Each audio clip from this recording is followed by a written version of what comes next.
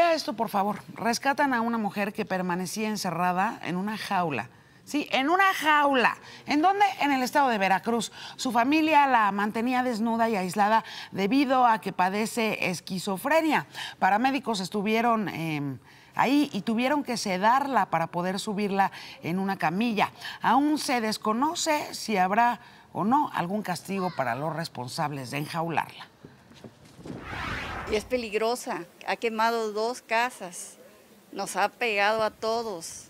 Pues la misma enfermedad la hace que ella no admita ropa, no admite nada. Desde el 84 batallando entre psiquiátricos, doctores, hospitales, batallando con ella siempre. Nunca la controlan, señorita, nada más le dan medicamento controlado y es droga para dormir sus sentidos.